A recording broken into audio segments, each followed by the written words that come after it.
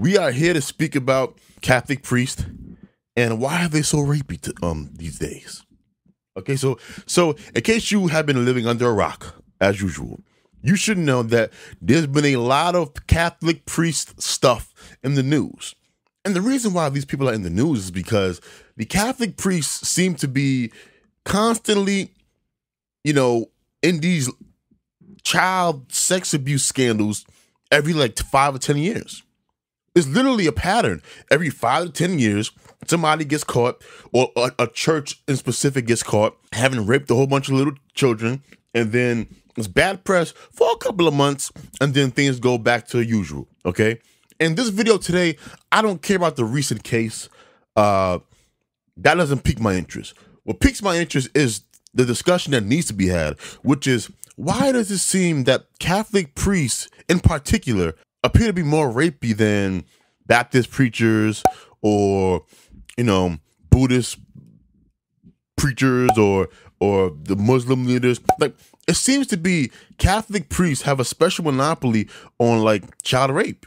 Uh, and when I sit back and think about that, a couple of things cross my mind. First thing is, well, maybe they don't have a monopoly on um child rape. It could just be that these other institutions don't seem to be getting caught in these stuff a, as much. But I disagree with that. I think in today's time with social media, it would be extremely difficult to be any type of big-ish church, right? And look, there are a lot of big uh, Christian churches, a lot of big Baptist churches.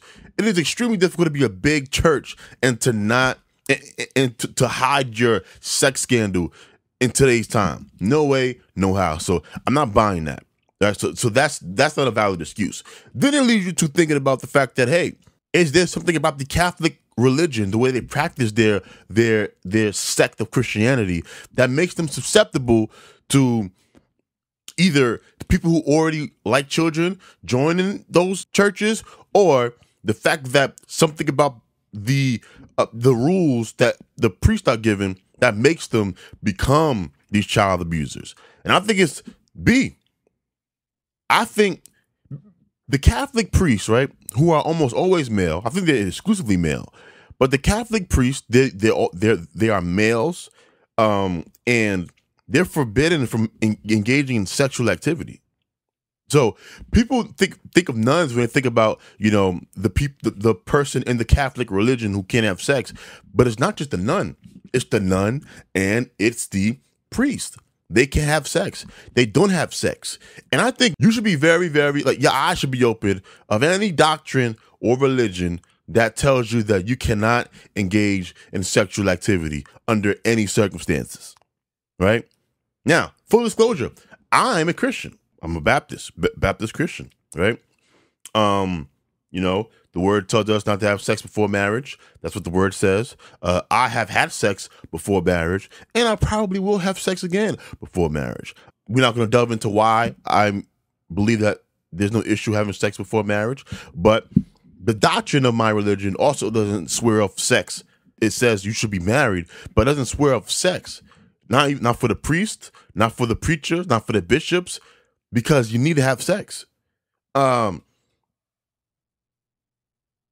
the Catholic priest need a sexual release. You cannot, as a man, go, you know, 20, 30 years of your life without any type of sexual release.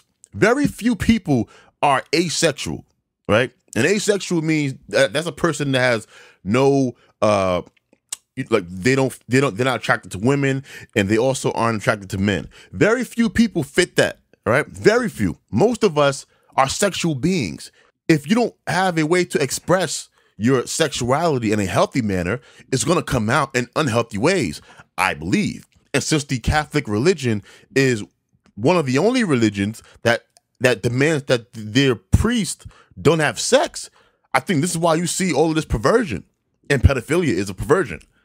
Um, and it's rampant. And then the fact that the Catholic priests also have, also have the confessional, portion of it as well, which is you you know that if you go to a priest, you can tell your sins, and the priest can't um, tell what you told to to to to, to anybody, and they also can't be compelled either by the law. Uh, I'm sure there's been exceptions, but that's the general rule. that aspect of that religion as well contributes to the child uh rapey problem because no one gets no one is held accountable.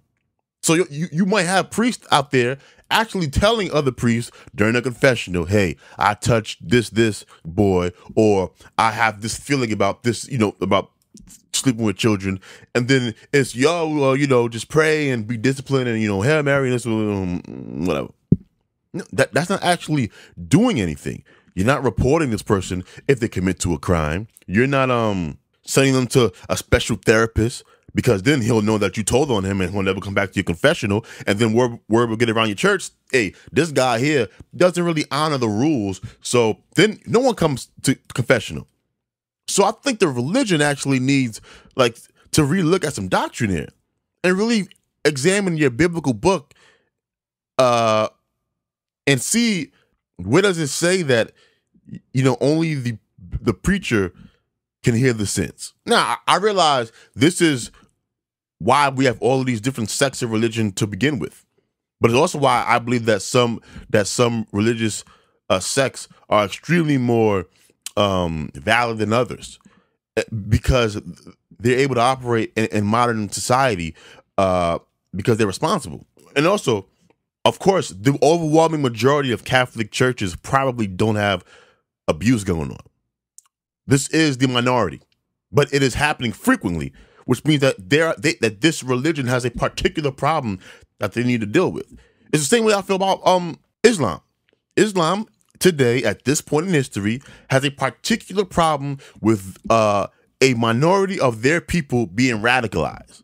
Right at this point in history, that's something that they have to deal with. That is particular to their religion, and I feel the same way for the Catholic religion. Right, the same way. They need to get this thing taken care of and re-examine uh, certain practices in their religion. But to all you out there who uh, aren't religious or who are Catholic churchgoers, you need to ask yourself, why would God put the burden of abstinence indefinitely on any man? The answer to that question is he wouldn't.